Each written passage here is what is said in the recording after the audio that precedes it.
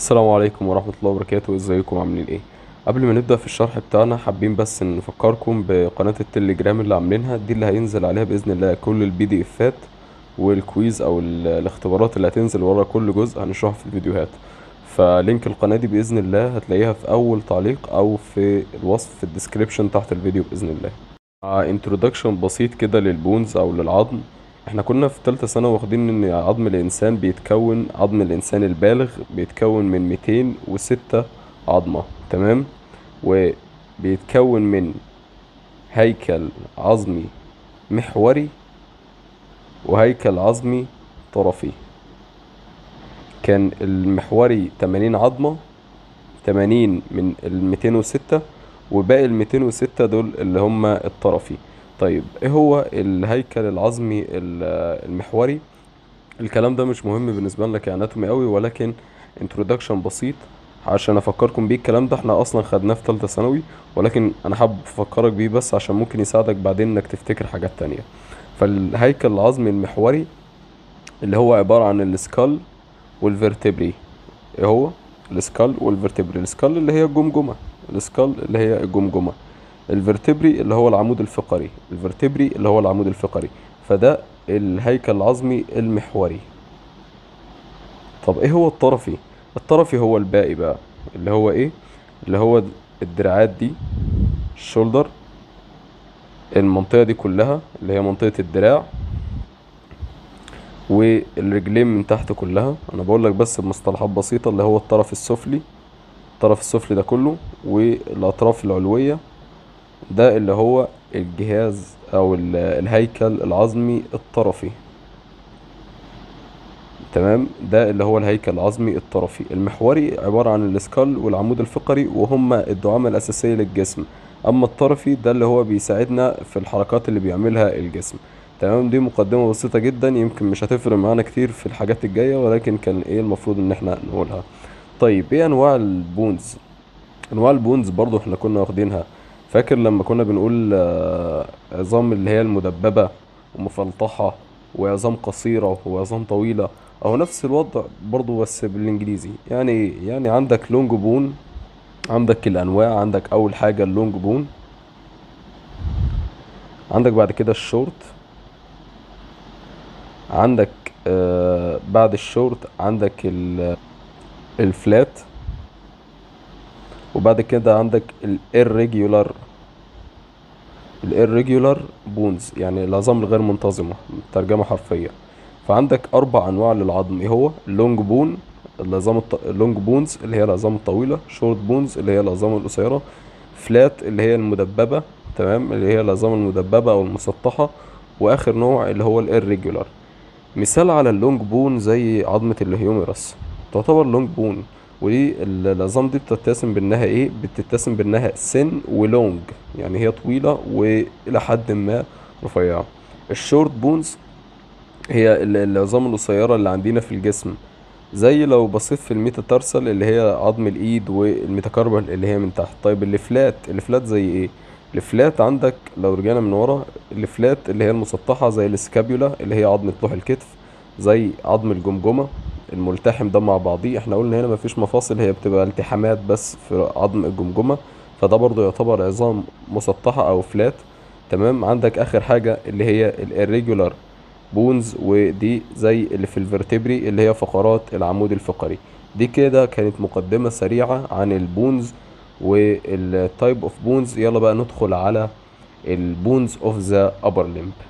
طيب قبل ما نبدأ بشرح ال bones حابين بس نوضح حاجة هتساعدنا بعدين كتير جدا هتساعدنا بعدين اللي هي دورة حياة الإنسان وحركة الإنسان. دايما بنشبهها بجملة تمام؟ الجملة ليه؟ الجملة بتتكون من فعل خط كروكي كده بس عشان نوضح الفكرة زائد فاعل زائد مفعول به ده تكوين الجملة تكوين جملة عربية بقى جملة إنجليزية. ده تكوين الجملة فعل وفاعل ومفعول به. طيب إيه التشبيه ده أو إيه الغرض من التشبيه ده بالذات؟ الغرض من التشبيه ده إن حركة الإنسان هي فعل تمام؟ طب مين الفاعل؟ مين اللي سبب حركة الإنسان؟ اللي سبب حركة الإنسان اللي هي العضلات. إزاي ده؟ إحنا كل حركتنا أصلا بتعتمد على العضلات. كل حركتنا حركة إيديك حركة رجليك المشي طلوع السلم نزول السلم آه آه، إنك تشيل حاجة من على الأرض إنك آه تمرينة في الجيم كله بيعتمد على العضلات. فأنت اللي محركك واللي مديك القوام بتاعك هو العضلات تمام؟ فهي العضلات هي الفاعل اللي بيحركنا الفعل اللي هو الحركة الفعل زي ما قلنا اللي هو الحركة. والفاعل زي ما قلنا اللي هو ال muscles أو العضلات. طب إيه هو المفعول به؟ المفعول به اللي هو ال joints أو المفاصل. تمام؟ إحنا قلنا الفعل اللي هو الحركة اللي بيحصل إن إحنا بنتحرك. طب مين الفاعل؟ مين اللي بيسبب الفعل ده؟ العضلات. طب مين المفعول به؟ المفعول به اللي هو بيتحرك يعني اللي هو بيتحرك فبيولد الفعل اللي هي الحركة. اللي بيتحرك هو المفاصل. وانت طالع وانت نازل آه، عندك مفصل ال- الركبة بيتني وبيتفرد.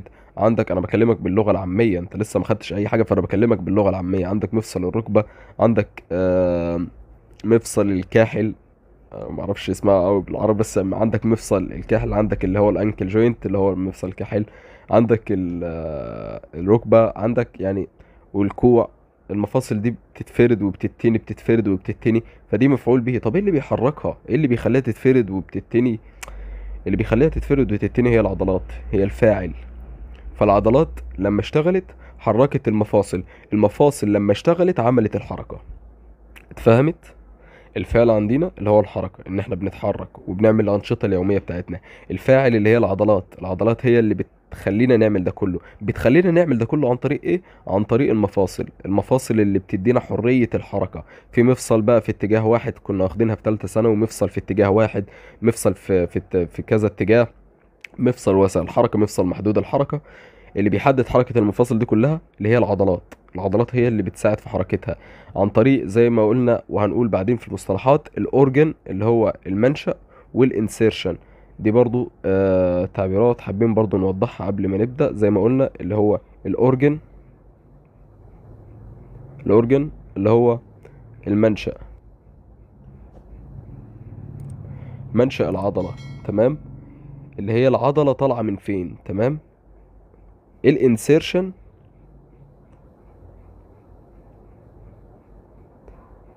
insertion يعني العضلة تنتهي فين؟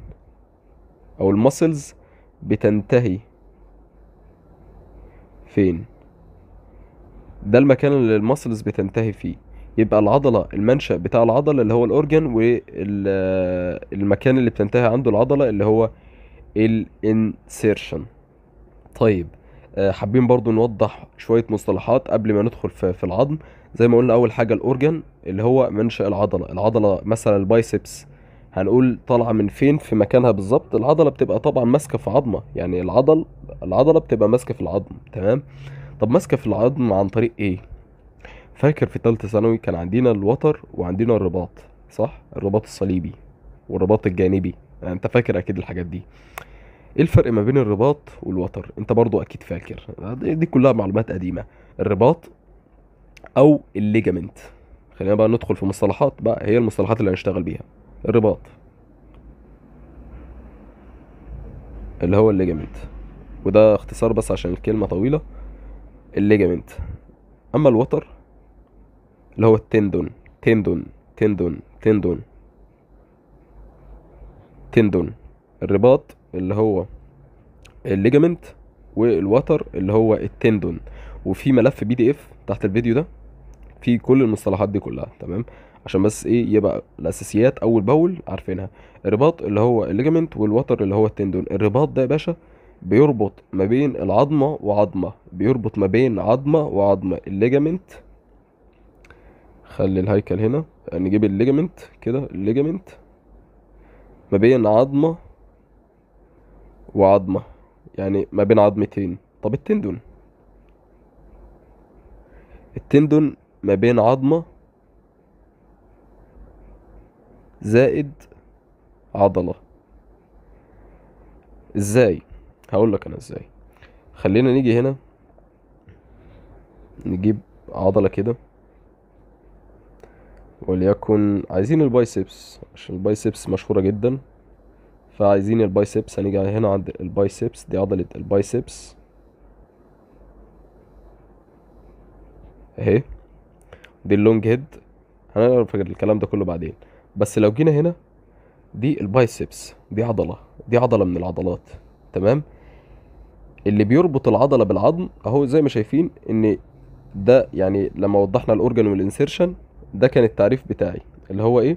ال origin اللي هو المكان اللي طالع منه العضلة زي ما شايفين العضلة طالعة من هنا. طب بتنتهي فين؟ أهي العضلة زي ما شايفين طالعة من هنا بننزل تحت أهي العضلة بتنتهي هنا. دي الحتة اللي بتنتهي فيها العضلة. دي ال insertion. ال origin المكان اللي بتطلع منه العضلة وال insertion المكان اللي بتنتهي فيه العضلة. طب إيه اللي بيربط ما بين العضلة والعظمة؟ اللي هو الحتة دي. الحتة دي اللي هي ال tendon. اهي الحتة دي؟ مقصود بيها هو لون تاني الحتة دي. اللي هي نهاية العضلة. دي اللي هي التندون اللي هي الوتر. دي اللي هي بتربط ما بين العضلة والعظمة تمام؟ بت- بتبقى العضلة اللي هي اللحم المسلز العضلات اللي هي اللحمة اللحمة الحمراء بالتشبيه البلدي كده. حتى وانت بتاكل الفراخ يعني ده أبسط تشبيه وانت بتاكل الفراخ بتلاحظ إن مثلا لو الدبوس هتلاقي إن بتاكل حتة اللحمة وفي حاجة بتشد في الآخر لازقة في العظمة. ده ال tendon بتاع حتة ال- اللحمة اللي هي العضلة. ال tendon اللي رابط ما بين العضلة والعظمة تمام؟ فده الفرق كان ما بين ال ligament وال tendon. فرق بسيط وحاجة بسيطة بس كنا حابين نوضحها. تمام؟ كده نبقى عرفنا ال tendon وال ligament وعرفنا يعني إيه origin و insertion المكان اللي طالع منه العضلة والمكان اللي راح فيه داخلة فيه العضلة. تمام؟ كده إحنا عرفناهم. ندخل بقى على العظم. عايزين ندخل على ال bones. هنتكلم الأول على ال bones بتاعة ال upper limb تمام؟ هنتكلم على ال bones بتاعة ال upper limb وبعد كده هندخل على ال bones features تمام؟ يعني إيه ال bone features ال bone features اللي هي التفاصيل اللي بتبقى على العظمة لإن أنت بتبقى فاكر إن العظمة هي عظمة كده وخلاص مثلا عظمة العضد اللي هي ال humerus هي عظمة. بس العظمة دي أنت محتاج تعرف تفاصيل كتير عنها. إزاي؟ إن إحنا مثلا لو جينا العظمة كده نفصلها على جنب عظمة ال humerus هنلاقي إن شايفين كل الأجزاء اللي بألوان دي كل الأجزاء الملونة دي كل الأجزاء الملونة دي عبارة عن أسماء و landmarks أو علامات يعني علامات موجودة على ال- العظمة لازم تتحفظ. تمام؟ وإحنا هنقول هنحفظها إزاي بعدين؟ كل جزء على العظمة ليه اسم مختلف بنميز منه. لأن مثلا بعدين زي ما قلنا في origin و insertion للعضلة مثلا الحتة دي مثلا الحتة دي اللي هي ال greater tubercle أو greater tubercle هي تنفع النطقين مش مهم يعني النطق بالنسبة لنا. أهم حاجة بس تعرف تكتب وتبقى فاهم انت بتقول إيه وتبقى فاهم الأماكن. النطق ده بقى يعني حاول تقويه بس حاجة مش مهمة أو حاجة مش محورية عندنا عامة. فهتيجي هنا مثلا هنقول إن في عضلة طالعة مثلا أنا مش مش بقول إن في عضلة طالعة من هنا بس هنقول مثلا إن في عضلة مثلا طالعة من الجزء ده. فأنت لازم تبقى عارف المكان ده على العظمة نفسها اسمه إيه. هي العظمة كلها اللي humerus تمام؟ اهي العظمة كلها اللي هي ال humerus اللي هي عظمة العضد. ولكن الحتة دي على عظمة اسمها greater tubercle فده اللي هي ال bone features دي بقى هناخدها في الفيديو الجاي. بس إحنا النهارده هنتكلم عن ال bones ال bones بس اللي هي ال- ال bones بتاعت ال upper limb خلينا نشيل العضلات دي ونتكلم على ال bones بتاعت ال upper limb ال upper limb عامة بيتكون عندنا أول حاجة في ال upper limb اللي هو ال shoulder joint أو مفصل الكتف مفصل الكتف زي ما شايفين حضراتكم. ده مفصل الكتف تمام؟ عندنا كم مفصل في ال upper limb عندنا ثلاث مفاصل هنتكلم عنهم بعدين. الحتة دي كلها اسمها shoulder girdle المكان ده كله الالتحام ده كله. شايفين الالتحام ده كله؟ اسمه shoulder girdle shoulder girdle يعني إيه؟ shoulder girdle ده آه mix ما بين آه الالتحام بتاع الثلاث عظمات بتوع هنشرح ده كله بعدين بس أنا حابب أوضح لك هو ليه اسمه shoulder girdle. shoulder shoulder shoulder girdle معناها إن في أكتر من joint في في ال- في المنطقة دي. فعشان كده أنا ما رضيتش أقول لك إن ده joint واحد لأ هو في أكتر من joint في عندنا ال shoulder joint ال shoulder joint وغير ال shoulder girdle. ال shoulder girdle ده عبارة عن complex أو مركب ما بين آه، مفصل واتنين وتلاتة تمام؟ في أكتر من مفصل هنا وهنتكلم عنهم بعدين. بالتفصيل بس إحنا دلوقتي بنوضح الفرق ما بين الشولدر والشولدر الشولدر جيردل الشولدر جوينت اللي هو آه، مفصل آه، الكتف. وده بيبقى ما بين عظمتين برضو هنتكلم على كل التفاصيل دي مش حابب برضو أدخل أزود في الحتة دي بس حابين نعرف إن عندنا كام joint هنا. عندنا أول حاجة ال shoulder girdle وبعد كده ندخل على ال- ال elbow. مفصل ال elbow أو اللي هو مفصل الكوع تمام؟ ال elbow joint اللي هو مفصل الكوع تمام؟ وبعد كده هندخل على المفاصل بتاعة ال- ال hand بقى ومفاصل ال wrist تمام؟ وكل ده هنتكلم عنه بالتفصيل. فيلا بقى ندخل على ال bones of the upper limb هي ال bones بتاعة ال upper limb بشكل أساسي ثلاث عظمات مهمين جدا هما اللي بيعملوا لنا الالتحام بتاع ال upper limb أو هما يعتبر ال upper limb عندنا. ثلاث عظمات أساسيين. اللي هما ال scapula. ال scapula اللي هي عظمة لوح الكتف. اهي ال scapula عظمة لوح الكتف. عندك تاني عظمة اللي هي ال clavicle ال clavicle اللي هي الترقوة. ال clavicle بالشكل ده. ده شكلها. ده شكل ال clavicle ال clavicle تمام؟ عندك تالت عظمة اللي هي ال humerus أو عظمة العضد. humerus humerus humerus عندك ال scapula اللي هي لوح الكتف. scapula لوح الكتف. clavicle اللي هي عظمة الترقوة وعندك ال humerus عندك بعد كده لو نزلنا عند آه، الساعد إحنا كنا واخدين ثواني بس هنا ال ulna وهنا ال radius. كنا واخدين الفيديو اللي فات اللي هو ال anatomical position تمام؟ وقلنا إن الوقفة اللي هو واقفها دي زي ما شايفين ال little finger أو الصباع الصغير زي ما شايفين بيبقى ناحية الجسم بيبقى medial للجسم والصباع الكبير بيبقى بره.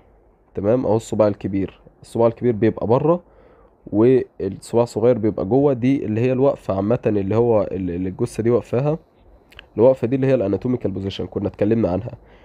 ال anatomical position لو جينا هنا لعظمة إيه العلاقة؟ هنيجي هنا عند الساعد مثلا. عندك ال ulna. ال ulna اللي هي عظمة الزند تمام؟ الألنا والراديوس. الألنا والراديوس دول اللي هم العظمتين جنب بعض اللي هم عظمتين الساعد. ال ulna اللي هي الزند وال ال radius اللي هي الكعبرة. اسمها بالعربي ده بقى من تالتة ثانوي.